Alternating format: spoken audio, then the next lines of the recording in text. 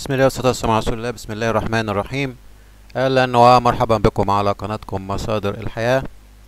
والنهاردة بنستعرض كما هو واضح من العنوان الخبر الذي جاء بخصوص أن سرعة الإنترنت سوف تصل خلال أيام إلى 20 ميجا. آه، ودي أقصى سرعة هتصل إليها في الأيام القليلة. هنتعرف النهاردة كيف لا تصل هذه السرعة أسباب لا تصل هذه السرعة وأسباب بطء الإنترنت وأيضا كيفية آه، معرفة سرعة الإنترنت عندك في الراوتر أو في المنزل أو على جهازك بكل سهولة. تابعنا وتابع الفيديو حتى النهاية ولكن لا تنسى دائما أن تشترك في قناتنا مصادر الحياة. إذا كنت أول مرة تشاهد هذه القناة وأيضا تفعل زر الجرس حتى يصلك كل جديد مما نقدمه على قناة مصادر الحياة. من فيديوهات في شتى مجالات حياتنا وهيا بنا نحيا الحياة مع هذا الموضوع الجديد. الخبر آه، بيقول إن آه، في خلال أيام آه، جاء هذا الخبر طبعا في جريدة الوطن ومسؤول بوزارة الاتصالات وتكنولوجيا المعلومات قال أو صرح أن سرعة الإنترنت في مصر ستصل إلى 20 ميجا بايت وأن متوسط سرعات الإنترنت الحالية بتقترب من 18 ميجا بايت ده مقابل 5.7 من عشرة قبل عام. وقال أن التطور السريع في رفع سرعة الإنترنت بيرجع إلى حجم الاستثمارات الضخمة التي جرى ضخها آه، في تطوير البنية التحتية خلال الأعوام الأخيرة. لافتا أن المصرية للاتصالات قد استثمرت آه، خلال 14 شهر الماضية آه، حوالي 1.6 مليار دولار.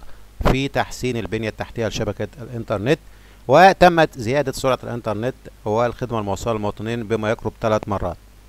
في الحقيقة نعم نحن نجد هناك تغيير في آه، كابلات الإنترنت وبقت كابلات ألياف. هناك تطوير أيضا في آه، الكابينة آه، اللي بنشوفها في الشوارع.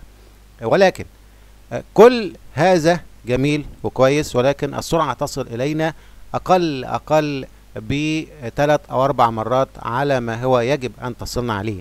بمعنى أن السرعة لا تصلنا آه، حوالي ربع هذه السرعة أو أقل من ربع في بعض المناطق. البنية التحتية آه، لسلوك الكهرباء اللي بناخد عليها أو سلوك آسف سلوك التليفون اللي بناخد آه، من خلالها الإنترنت أو بتقدم من خلالها خدمة الإنترنت. هذه الكابلات وهذه السلوك في الأرض تآكلت منذ عشرات السنين لم يتم تغييرها.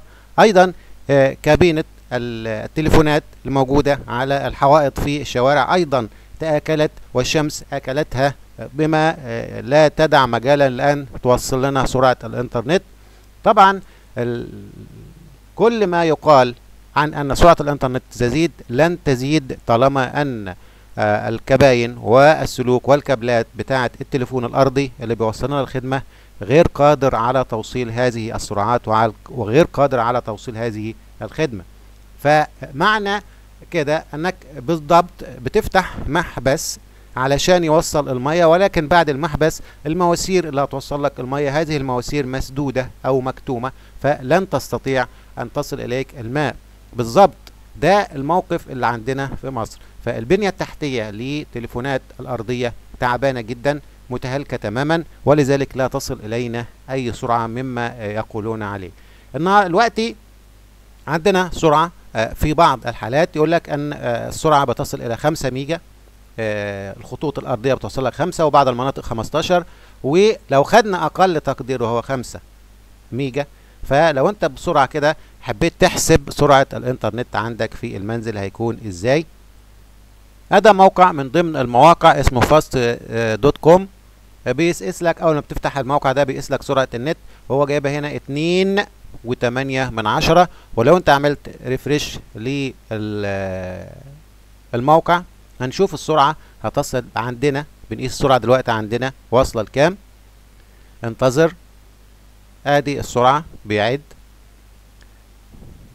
يعني لو وصلت تلاتة ميجا ده يبقى كويس جدا في أحلى سرعتها. هي دلوقتي اتنين وتمانية من عشرة. لو رحت الموقع تاني عشان تقيس هنا الموقع ده آه، هسيب لك برضو اسم الموقعين دولت. لو قلبناها كده عربي موقع عربي وجيت تحسب سرعة ال upload وال download يعني سرعة التحميل وسرعة الرفع ال upload وال download هتلاقي السرعة بطيئة للغاية هتلاقي السرعة بطيئة فعلا للغاية. هذا آه الموقع الآخر وهنشوف سرعة ال download وال upload اللي عندك قد إيه أو اللي عندي بمعنى أصح قد إيه. وادى نضغط على جو وهنشوف سرعة الرفع وسرعة التحميل ال download وال upload عندك قد إيه أو عندي قد إيه.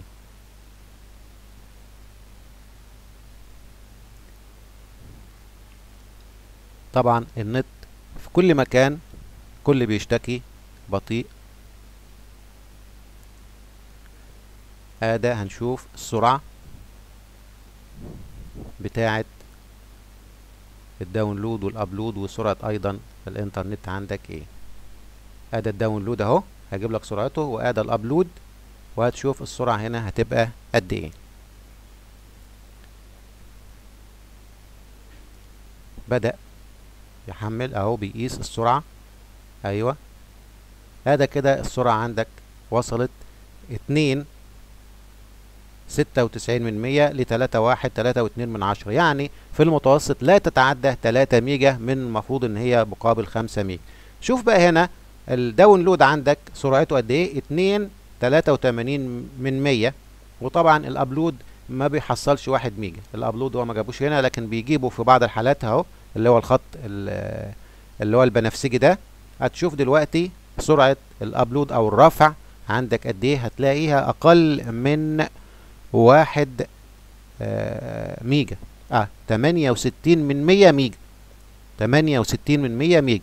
وال download عندك اتنين وتلاتة وتمانين من مية والسرعة لا تتعدى تلاتة ميجا في أحسن حالتها في أحسن حالتها ده بخصوص سرعة الإنترنت إزاي تقيسها وإيه أسباب بطء الإنترنت وسرعته. لكن آه كل ما يقال عن إزاي تزود سرعة الإنترنت بالطرق أو بالبرامج أو بالمواقع كل الكلام ده طبعا آه اللي إحنا بنشوفه على كثير من الفيديوهات لا يؤتي بنتيجة. ليه؟ لأن الأساس وهي خطوط التليفونات الأرضية اللي موصلة لنا خدمة الإنترنت. أصبحت متهالكة وغير صالحة تماما ولا تستطيع توصيل أي من هذه السرعات اللي بنحكي عنها أو بيقال عنها كل يوم وبنسمع عنها أخبار. في النهاية بتمنى لكم جميعا التوفيق والنجاح. بتمنى منك أن لا تبخل علي ب like share والا تشترك في قناتنا حتى يصلك جديد ما نقدمه على قناة مصادر الحياة وهيا بنا نحيا الحياة. وإلى أن ألقاكم السلام عليكم ورحمة الله وبركاته.